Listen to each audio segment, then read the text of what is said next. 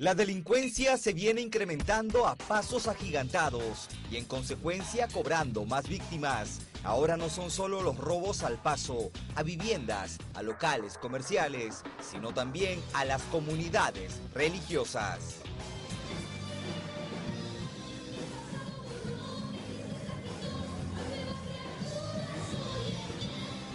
Las iglesias cristianas se han convertido en el nuevo blanco de la delincuencia. Catedral de Fe, ubicada en Comas, ha sido uno de los últimos locales asaltados. Ha sido sustraído todos los equipos de sonido. Más de 26 mil soles entre instrumentos musicales y otros equipos fueron robados de esta iglesia cristiana que tiene más de tres años funcionando en la cuadra 7 de la avenida metropolitana. Visiblemente afectado, el pastor Rojas nos cuenta cómo se produjo este robo en la iglesia de Comas. Este es el, punto donde estaba el lado derecho del parlante para el lado posterior, así sustraído de ahí. Y esta mesa, como vemos, esta, esta mesa, ajá, en esta mesa estaba todo el equipo, la consola y todo lo que la distribución de los elementos que se usa para el sonido, ¿no? Y como usted ve, ahí están solamente los cables y el bajo electrónico. Y encima había otro parlante para las guitarras eléctricas, que también eso sí se lo han llevado con todo han sustraído todos los platillos de la batería. Esta es la tercera vez que la iglesia Catedral de Fe sufre un robo de esta magnitud. Ninguna puerta fue forzada, lo que hace más extraño este hecho. Aquí en estas fotografías se aprecia el teclado y los parlantes que fueron sustraídos. El pastor señala que las iglesias cristianas, medianas y pequeñas, se sienten desprotegidas por las autoridades. Ha decidido que la iglesia se mude a otro lugar para evitar así que vuelvan a ser asaltados. Necesitamos más seguridad. Necesitamos que nuestras autoridades locales, como también este, las autoridades centrales, eh, tengan en, consideración que trabajen de una manera más puntual sobre la ciudad, sobre la seguridad ciudadanía, ¿no?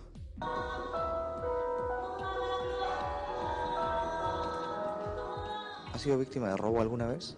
Sí, ha sido en tres ocasiones. Un caso similar ocurrió en el Callao, en la iglesia cristiana Palabra de Fe, donde delincuentes también se llevaron varios instrumentos musicales y una consola similar a esta.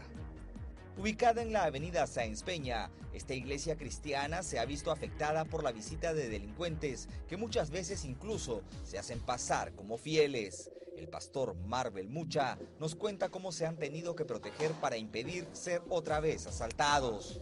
Todos los tres robos han sido en la madrugada. 3, 4 de la mañana más o menos. Y por esta puerta se ingresaron. Por eso tuvimos que poner este tipo de reja como seguridad nosotros mismos. Una doble puerta, ¿no? Sí. Metálica. Entonces este, ellos ingresaron, porque esta puerta no la teníamos.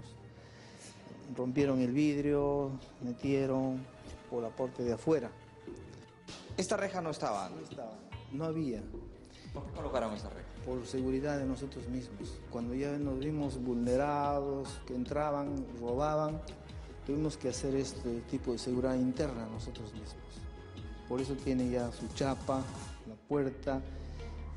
Todos los instrumentos musicales están valorizados en más de 10 mil soles. El pastor señala que es falso que ellos tengan dinero. Sí, es una idea equivocada porque con eso sostenemos ¿no? la, la, obra de Dios. y la consola, ¿no? los power, más que nada cosas así que saben ellos seleccionar, cosas valiosas, de costo. Con 30 años de antigüedad, este local no ha sido ajeno a los robos. El mismo público a veces es asaltado en plena ceremonia.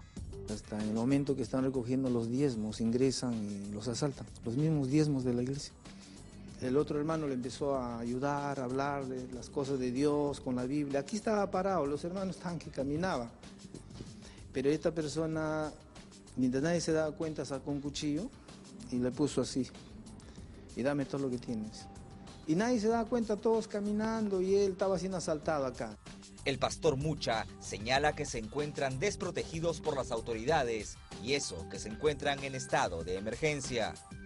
Algunas veces aquí en la pollería está parado los policías, pero para la pollería cuidan, pues, ¿no? O al frente está el local de la rectoría de la Universidad del Callao. A veces ahí hay guardianes, pero están a determinadas horas. Pero los alrededores no. Alrededores no se ve. Solamente pasan nomás los patrulleros, pero aquí no hay guardianes, nada más. Recorrimos diferentes iglesias de la capital para saber de qué manera se protegen de la delincuencia. Sin embargo, sus miembros, por seguridad, prefirieron mantener silencio. Los delincuentes ya no tienen límites, nadie se salva. Ahora les tocó a las iglesias. Mañana, ¿quiénes serán las próximas víctimas?